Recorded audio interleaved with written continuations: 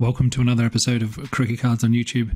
If you're looking to buy cards, there are several great options to consider. One of the best starting points is the saleroom.com, which is an aggregator for auction houses that allows you to bid on items from many reputable auction houses, including Loudon Auctions and Tim Davidson. For those in Australia, Leski has a history of offering many rare cards for sale over the years. Actually, another unexpected source for cricket cards is gumtree.com.au, where you can find surprising items.